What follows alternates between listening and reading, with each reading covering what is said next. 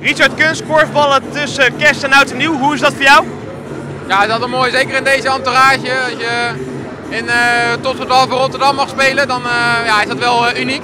Het is wel, ook wel best wel pittig, natuurlijk naast het seizoen.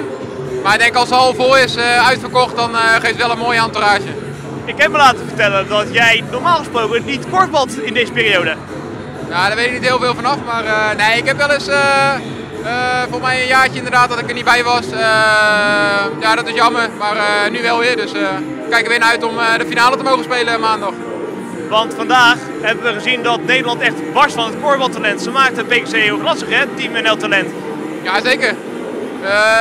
er staan een paar goede talenten uit het noorden in. Die spelen allemaal eigenlijk ook korfbal of hoofdklasse. eerste, zowel tweede team.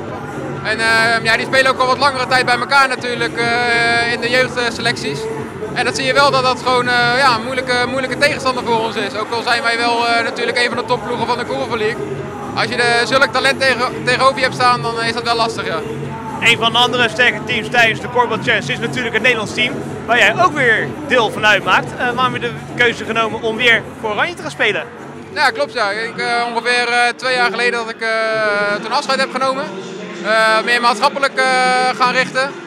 Alleen, uh, ja, ik denk uh, na een tijdje merkte ik dat ik niet helemaal lekker in mijn vel zat daar. Dus uh, ja, ben ik eigenlijk wel wat verder gaan kijken. En toen merkte ik eigenlijk al van, joh, het korfballen bij het Nederlands team is gewoon zo gaaf en zo tof. En zeker als je erbij mee gestopt, dan ja, zie je pas en merk je pas wat je mist. En zodoende een keer Wim Scholmeijer een appje gestuurd van, joh, hoe en wat. En ja, die stond er nog voor open, dus zodoende ben ik er weer bij. Maar wat heb je dan eh, gemist bij Oranje dan, in jouw gevoel dan? Want jij hebt dan niet de keuze zoiets gehad van nou, ik, ik blijf toch maar voor maatschappelijke carrière kiezen. Ik ga toch wel weer bij Nederlands team voorvallen. Ja, het was uh, toen de tijd dat ik volgens mij zes jaar erbij. Ja, dan leef je in een soort van, in een, in een roes. Van uh, zes jaar doe je hetzelfde. En dan besef je soms niet helemaal van hoe uniek het is als je echt van je hobby je werk kan maken. En ja, bij het Nederlands korfbalteam, als je topsporter bent, dan is dat wel echt uniek. En ja, ik vind het ook heel tof om er nu weer bij te zijn. Waarom korfbal je bij de Korfbal Challenge niet bij Oranje, maar voor PKC? Voor mij is het al uh, jarenlang zo dat je, uh, als, als je team ook uitkomt op de challenge, dat je altijd voor je team uitkomt. Volgens mij is het ook wel eens een jaar geweest dat ze de ene helft bij uh, het Nederlands team, de andere helft bij het team deden. Maar nu is het gewoon weer bij de teams. Had je niet, niet zoiets van, nou ik wil wel weer, nu toch toch ben bij Oranje, dat ik toch maar even bij je team NL kan gaan spelen? Nee, ik vind bij PXC op de challenge vind ik sowieso leuk om met PXC mee te doen. Uh, met Team NL hebben we genoeg uh, toernooien en uh, selectiemogelijkheden dat we bij elkaar zijn. En het is ook wel leuk voor andere talenten, zoals Gertje Meerkerk, Robin de Wit, Anouk Haars, die nu minuten mogen maken bij Team NL.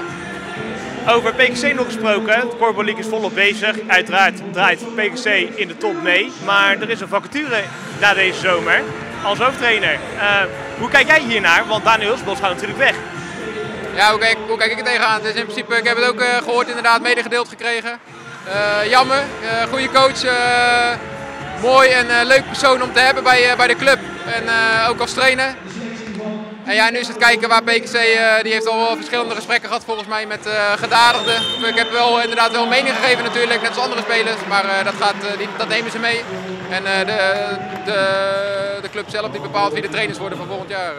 Want wat voor soort coach zou jij graag willen? Want jouw stem, ik kan me voorstellen, is best wel uh, reden bepalend. Ja, we hebben als selectie, uh, als selectie hebben we gewoon één, uh, één stem. En dan gaan we gewoon met z'n allen gaan we eerst discussiëren over joh, wat willen we nou eigenlijk.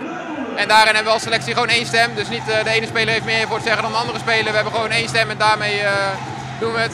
En ja, wat voor personen kunnen meerdere personen zijn. Ik, bijvoorbeeld een wat meer een manager, zoals een Jan Niebeek is zouden wij eh, goed kunnen gebruiken, denk ik. Zeker ook met wat, eh, wat nieuw talent wat eraan komt. Maar aan de andere kant, een enthousiaste trainer eh, zou ook goed bij ons passen. En eventueel Art Corporal, die volgens mij ook een gesprek heeft gehad? Ja, nee, kan ook. Die heeft bewezen bij Fortuna dat, dat hij een goede club kan coachen. En ook met een, met een plan aan de gang kan. Dus ja, daar, dat zou ook zomaar kunnen. Ja, dat zijn inderdaad de namen die, die voor de hand liggen inderdaad. En misschien wel een Wim Scholmeijer als hij zou stoppen. Of misschien als hij niet zou stoppen, dat hij het naast het Nederlands team zou mogen doen. Ja, dat zou ik ook gaaf vinden. Gaat hij door, denk je? Uh, Scholmeijer bij Oranje?